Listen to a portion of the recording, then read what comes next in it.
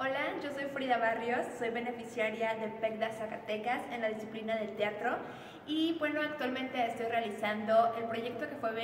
beneficiado que se llama Nido Celeste y que es una experiencia escénica para primera infancia o como lo conocemos como teatro para bebés. En esta puesta en escena estoy trabajando sobre la temática de qué es lo que nos hace especiales en este mundo a cada uno de nosotros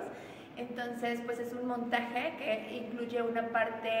eh, donde los niños y las niñas observan todo lo que ocurre entre los actores en el juego escénico y después los bebés ingresan también al espacio escénico para jugar con los materiales que se están llevando eh, ahí a cabo. Eh, me parece como muy importante que en estos apoyos se pueda dar también difusión para el arte para los niños y niñas más pequeños. Montajes que estoy realizando. Actualmente llevo cinco montajes en escena para este público. El primero justamente también fue con un PECDA de otra edición. Entonces, pues insisto en trabajar para este público porque los niños y las niñas también tienen derecho eh, a disfrutar del arte y de la cultura desde su primer año de vida. Entonces, el que nosotros podamos abrirles las puertas a los recintos culturales, a que disfruten algo especialmente eh, dirigido para sus etapas de desarrollo, es algo muy significativo, ya que desde los primeros años, pues ellos van construyendo subjetividades, van reconociéndose parte de una comunidad y entonces vamos realizando diferentes cosas que también estimulan hacia sus sentidos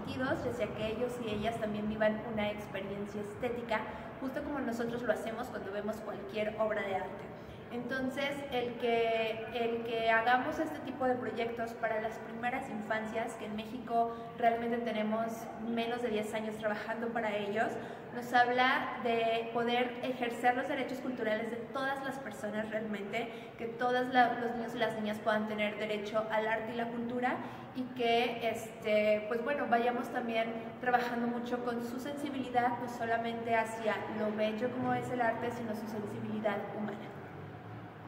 Y pues bueno, este proyecto lo vamos a estar estrenando en Zacatecas en el mes de mayo. Eh, nosotros trabajamos como Mezquite Teatro Colectivo, donde podemos seguir realizando diferentes experiencias estéticas para los niños y las niñas, donde no solamente es teatro, sino que también tratamos de involucrar la danza, las artes visuales y también la música, que sea una experiencia más integral y sensorial para los niños y las niñas, y que pues bueno, los papás que también llevan a estos pequeños a verlas puestas en escena también se puedan sensibilizar y también podamos darnos cuenta de lo bonito que es como compartir en tribu cuando tenemos eh, niños y niñas pequeños. Entonces, pues estaremos estrenándonos en Zacatecas en mayo, pero eh, espero que podamos girar por muchos estados del país.